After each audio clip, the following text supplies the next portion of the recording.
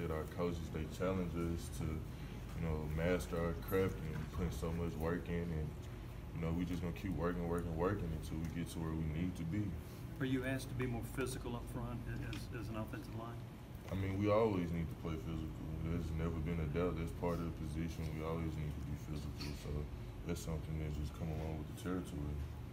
What were your impressions from the second scrimmage, or what did Coach talk about, you know, in the aftermath of the second scrimmage?